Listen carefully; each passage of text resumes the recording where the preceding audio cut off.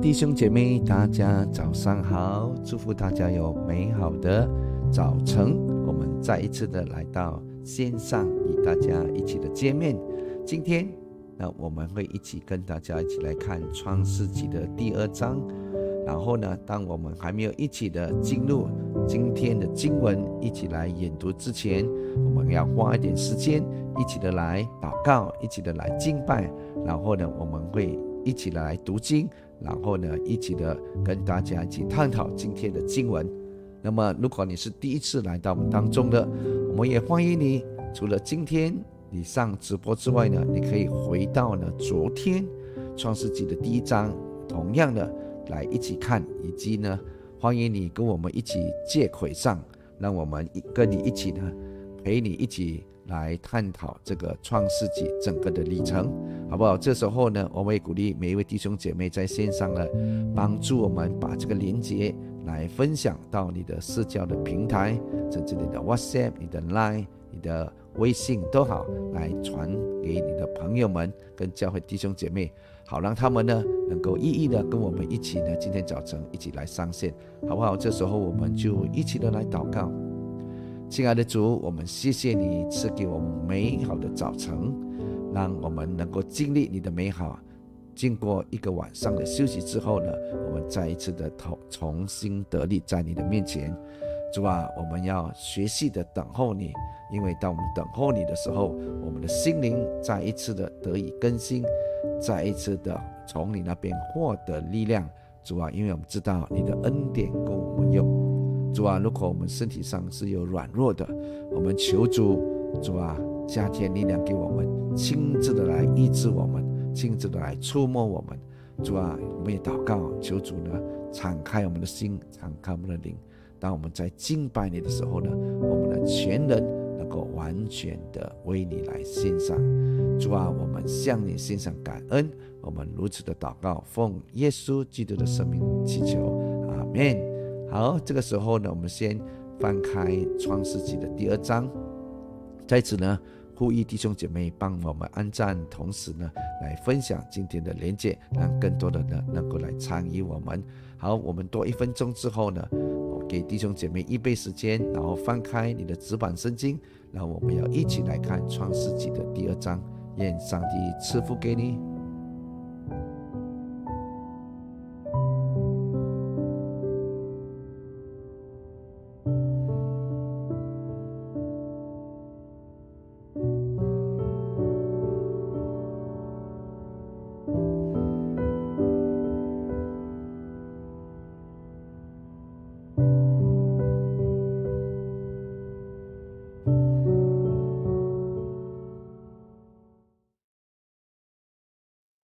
好，这个时候呢，我们一起来翻开创世纪的第二章，我们一起来看这段的经文。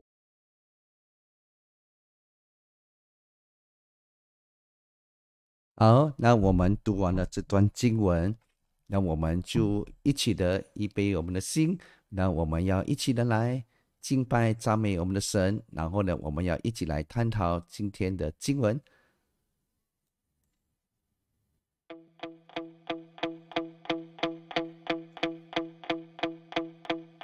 神灵啊，我们欢迎你来转动我们的心。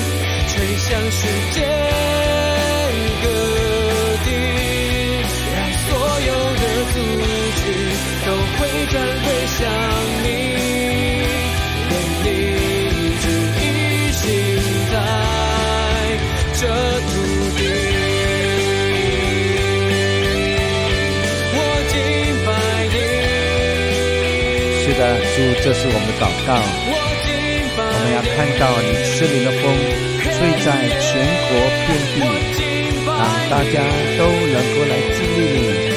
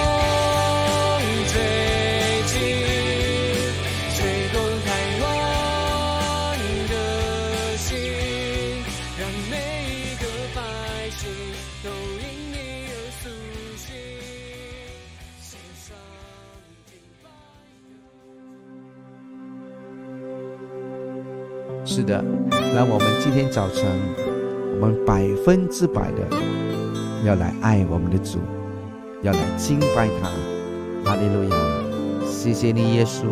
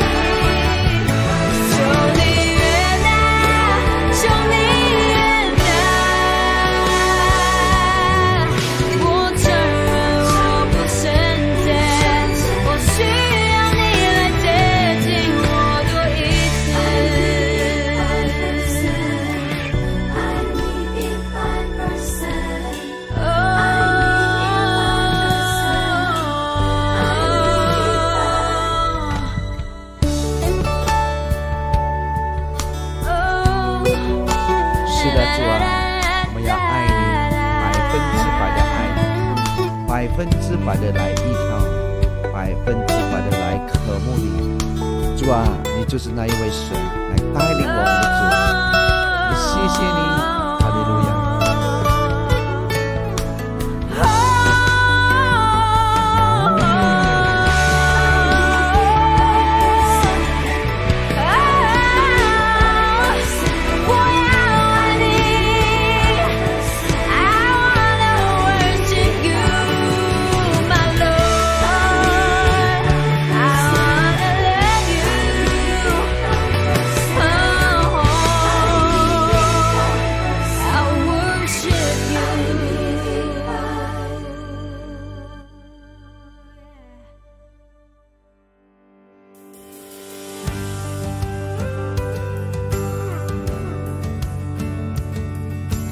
的主啊让我更加的愿意的爱你愿意的来跟随你。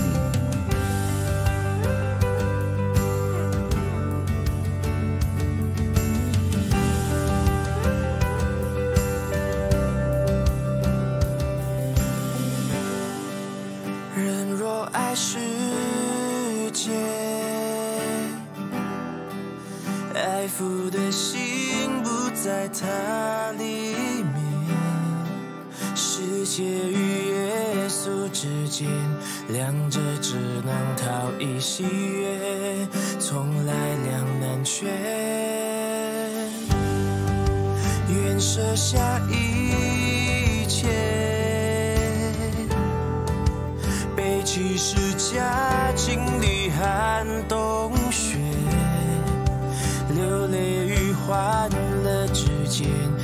速陪着我们体验，从来不改变，这辈子我只做一件事，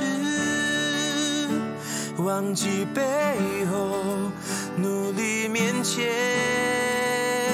向着标杆，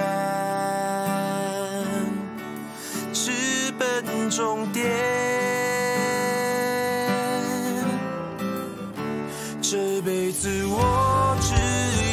寻求你不是这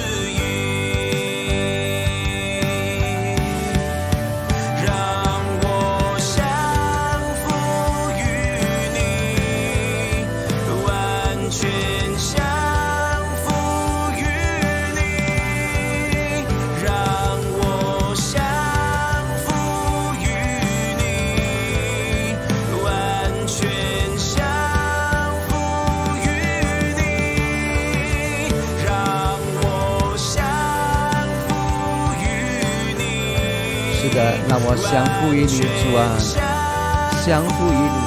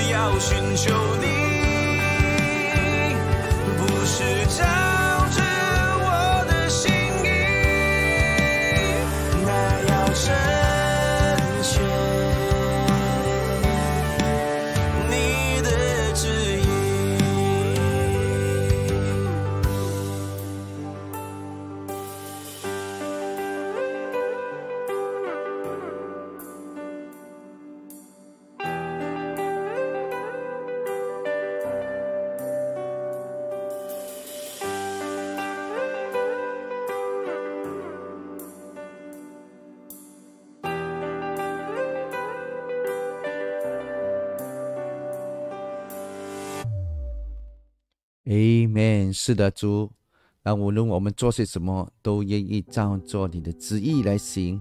主啊，我们愿意的跟随你。就如刚才的两首诗歌说，主啊，我们要百分之百的来爱你，同时呢，我们愿意的来跟随你。是的，主，我们感谢你，奉耶稣基督的圣名祷告。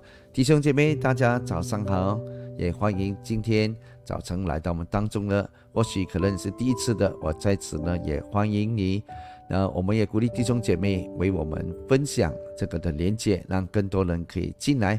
好，这个时候呢，我们一起翻开创世纪的第二章。这时候呢，我们就请许树林牧师来今天来跟我们做分享。弟兄姐妹，大家早上好！感谢神带领我们今天早上有美好的敬拜。我们每一天清晨你来亲近神，这是多么的美好！谢谢神，让我们与他能有这么美好的关系。今天早上我们一起来看创世纪第二章，求圣灵来帮助我们，圣灵来指导我们。在创世纪第二章里，我的主题是美满的创造。创世纪的第一章跟第二章，它讲述了神美满的创造。神创造天地，为天地创造动物，又造人替他管理万物。神在创造里带来了丰盛跟和谐。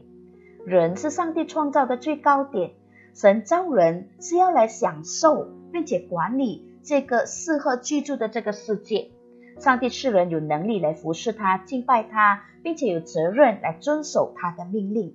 神将人放置在一个完美的这个环境，有各样的供应，并且呢，为他预备了一个帮手，一同的来服侍神。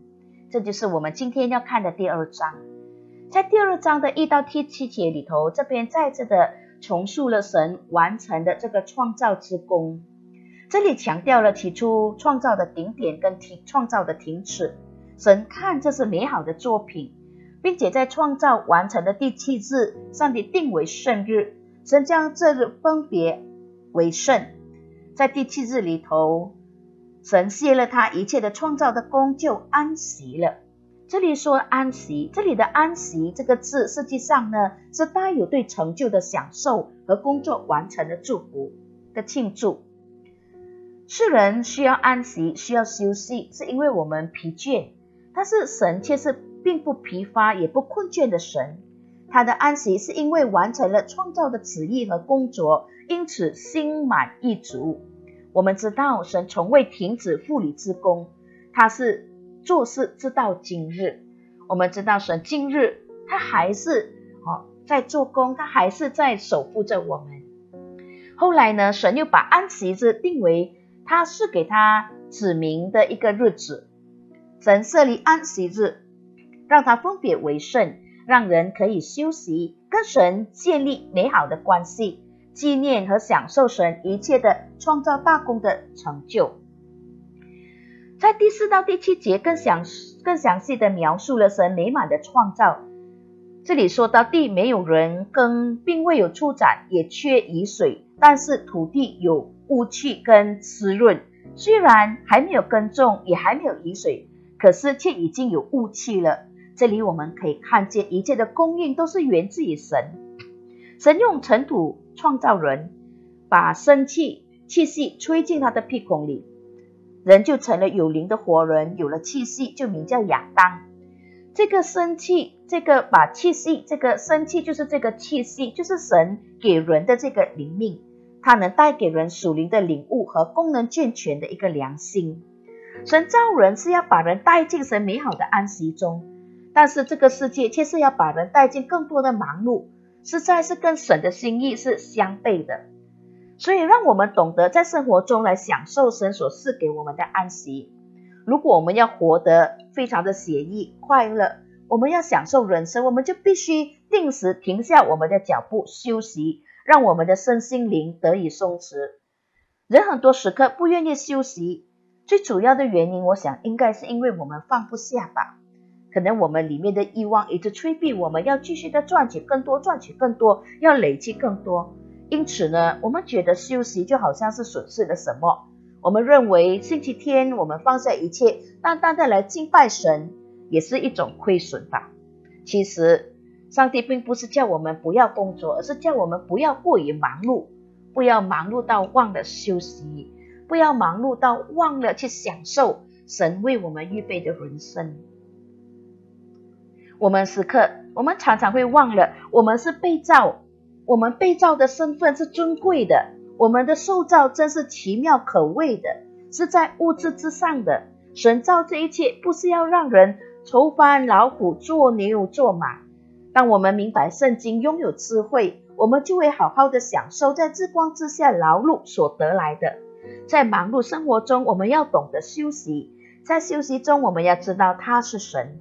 休息不仅是让我们身体重新得力，更让我们灵里面呢能与主联合。我们我们里面的灵能与主联合，我们能在安静中，我们能来享受永生的福分。这才是人生的美满。诗篇一百二十八篇第一到第二节说：“凡敬畏耶和华、遵行他道的人，变为有福。”你要吃劳碌得来的，你要享福，事情顺利，享福，享福就是让我们能在境中有那股平安，有那个喜乐的满足，这个就是享福，不是吗，弟兄姐妹？我们在第八到第十七节，我们看到这里告诉我们说，人类是有责任遵守神的诫命，以致享受生命。八到十这节说到神给人的预备以及人神人对神应有的责任。神设立了伊甸园，亚当可以享受这一切，同时他也得遵守神的命令。经文没有说，经文在这里经文呢有说到河流有河流从伊甸园流出来，来滋润园子。并且呢有贵重宝石和金子在那个区域，可见这个是非常富裕和享受的。哈酒树上也结满了果子，好做食物。神将亚当安置在这地，这个时候人类是圣洁没有罪的，他跟神之间拥有美好的相交关系，而且你可以看到一切都是丰盛，都是美好的。上帝为人预备了丰富。的一切所需，神同时也赋予亚当在上帝的引导之下，能管理所有的所造之物的责任。上帝是给亚当权柄，让他好好的管理万物。亚当是被被授权来修理和看护，这两个动词其实都指向属灵的服饰。修理，修理是 to keep 英文，这是指向遵行诫命。跟留心顺从神的话语，按着神听从神的话去做，去修理，去看守。看守读守，看守是描述对神的敬拜和服侍，是人所能有的最高的一个权柄来的。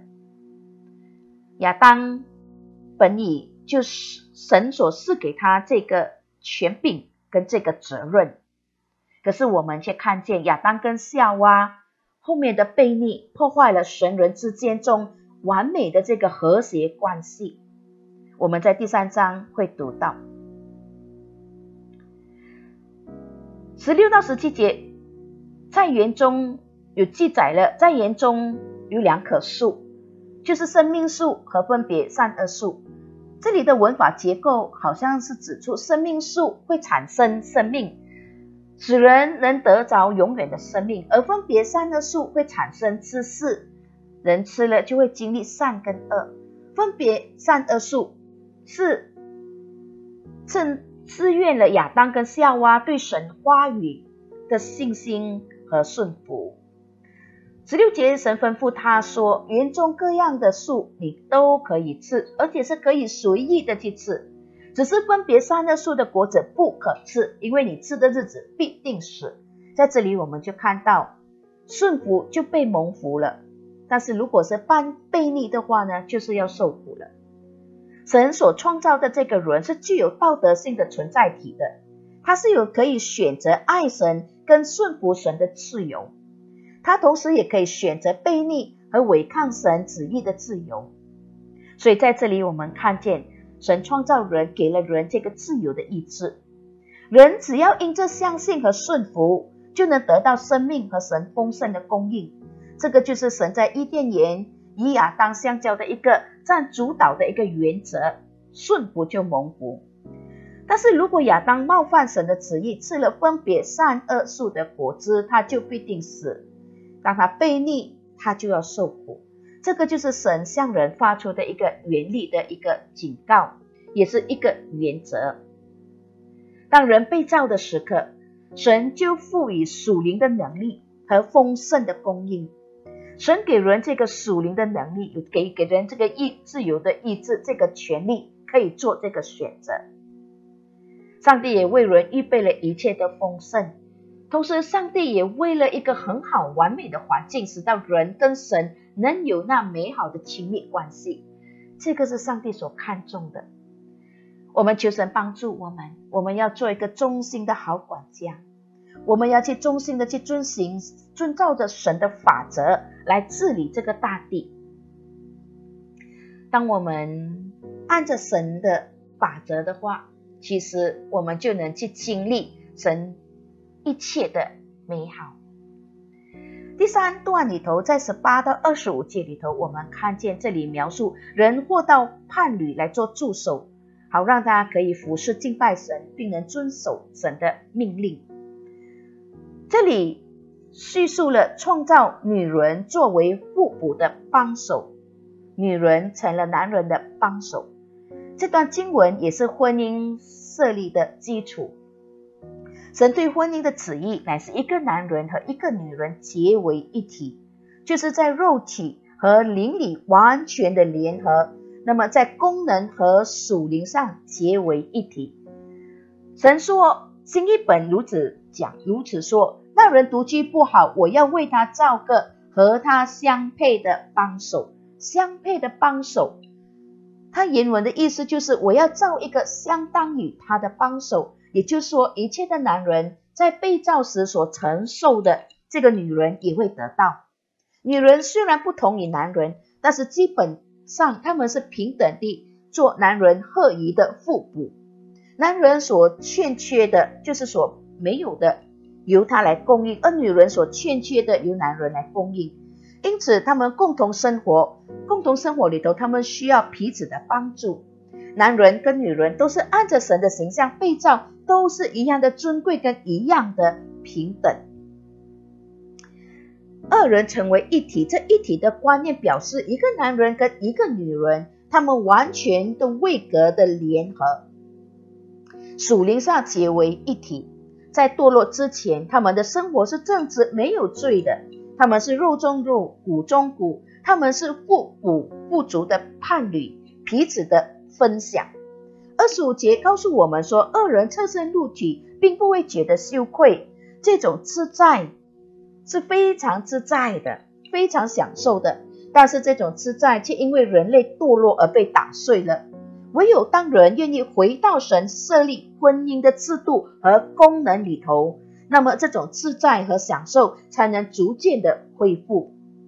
神所设立的婚姻计划乃是一个男人跟一个女人成为一体，也说明了夫妻之间的亲密性，在理性、情感、意志上完全的和融合为一。对方想什么、感受什么、做什么，都能产生共鸣。这个就是爱的最高点，是神形象完美的流露。我们常常听说夫妻越来越相似，越老越相似，无论是外貌、言谈举止、想法，会一致，会有同感一灵。当夫妻刚刚结合，可能我们会有一些的冲突，一些的困难一起相处，那是因为我们的文化背景、生活作息关系。但是，当我们愿意以神的原则回到神设立婚姻的原则上和功能上一起的努力的话，那么呢，夫妻就能结为一体。不但是呃心灵上、思想上，其实很多时刻在我们的啊爱好上，我们都能一致的。嗯，我跟我先生有这样的一个经历。有时候我常常会听我先生忽然间告诉我说：“哎，那我先生这样子跟我说，我也是这样子想。当我在表达我的想法，或者是对一件事情的看法，或者有一个建议的时刻，我先生就会告诉我说：‘哎，我也是这样子想。’有时候他说：‘哎，不如我们今天就去哪里吃早餐？’哎，我也是这样子想，就是这样的一个默契，这样的一个合意，这是非常奇妙的。这个就是夫妻之间彼此的相爱。”互相的尊重，彼此的沟通了解，而更多的包容和接纳，而得到的这个美好合一的关系，这个是需要时间培养的，这个是需要努力的去经营的，去营造的。夫妻能在邻里有同样的心思意念，才是真正的联合。我想与大家分享一个故事，我蛮蛮，我觉得这个故事蛮蛮鼓励了我的。在一个钻石钻石婚模钻石婚模范的颁奖典礼上呢，有一位老老太太老妇人就接受了主持人的访问。那主持人就问这位老太太说：“你觉得你的老公有缺点吗？”这位老太太就说：“他的缺点多如天上的星星，多到数不清呢。”那主持人说：“那你老公的优点多吗？”老太太回答说：“少得很。”少的就像天上的太阳一样，只有一个。主持人说：“那你为何还可以跟他共共处半个世纪，如此的恩爱呢？”老太太回答说：“因为太阳一出来，星星就不见了。哦，却是当你把优点放大的时刻，那一切的缺点也算不得什么了。”求主帮助我们学习爱。用基督的爱去看人生，爱是在基督里接纳、尊重、欣赏对方，因为他也是神所赐的，神造他本来就是美好的。我在这里要鼓励结了婚的夫妻们，让我们一起的努力成为伴侣的帮助，我们成全他，成全他，使他能发挥他最美好的一面。不要只是数算他的缺点，放大对方的缺点、优点吧，而是要放大对方的优点吧，不是把对方的优点放大哦。我们回到第二十四节，我们看见在这里说，人要离开父母与妻子合一。在神的旨意中，人要离开父母。这段经文并不是告诉子女说你不要照顾父母，你要丢下父母。这里说人必须先离开父母，这个离开父母表示离开父母紧密的结合，在情感上的依赖，那么人才能长大成熟，才能负起责任。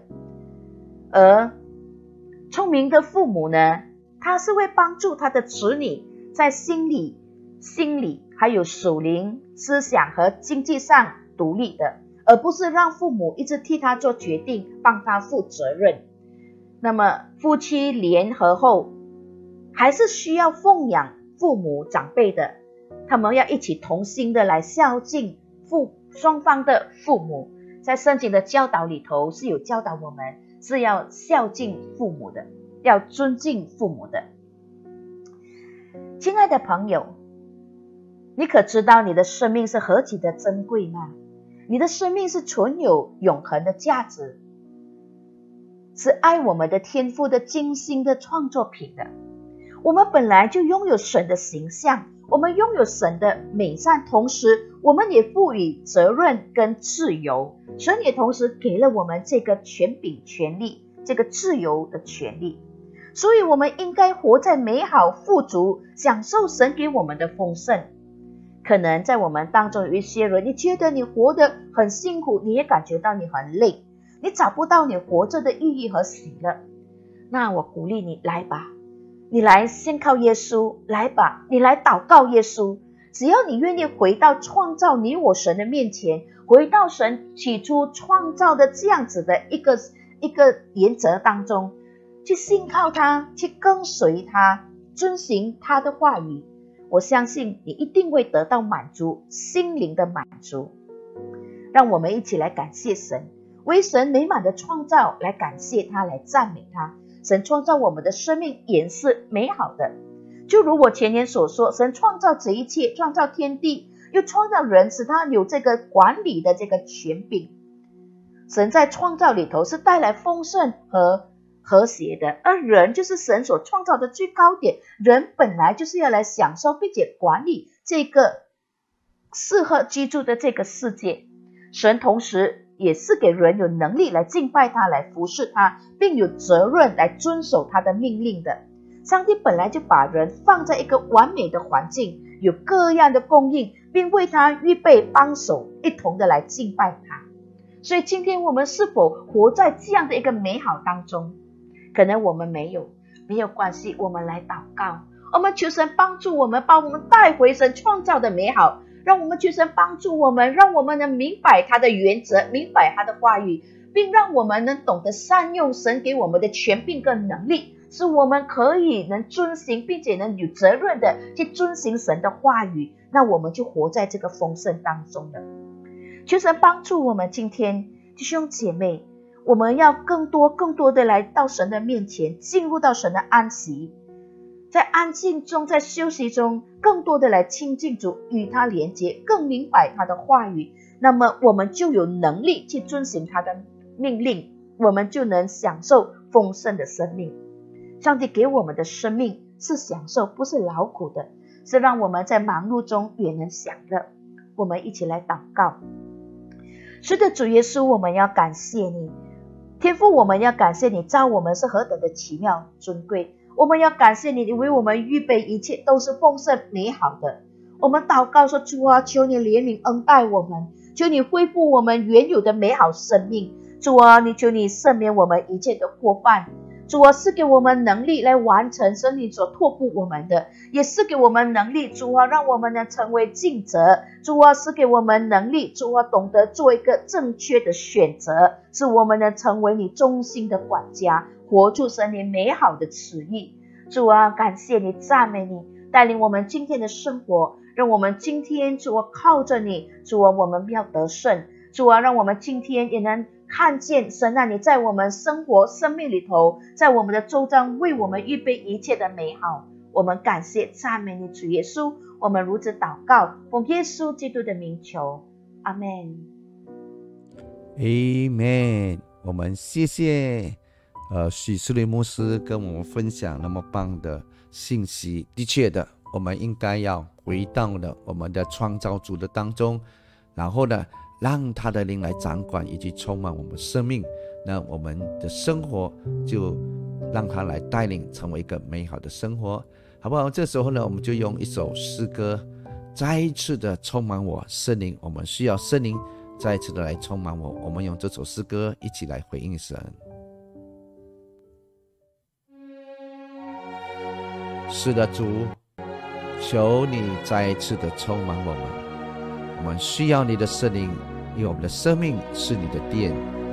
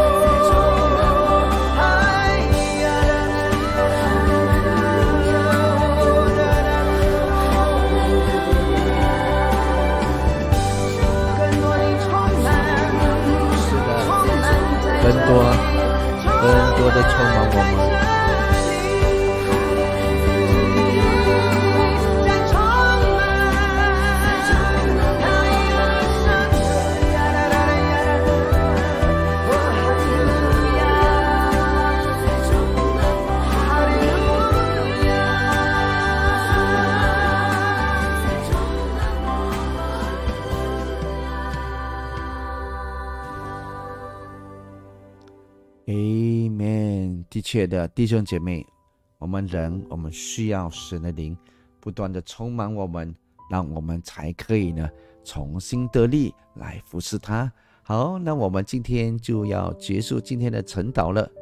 那我们一起的哦，让我来祝福大家，让我们就一起来领受。愿耶和华赐福给你，保护你；愿耶和华使他的脸光照你。施恩给你，愿耶和华向你扬脸，赐你平安。我要如此奉上帝的名为神的儿女祝福，上帝也要赐福给我们大家。阿面，上帝赐福给你。好，那我们明天再见呢。我们明天会跟大家一起来看创世纪第三章。拜拜，上帝爱你。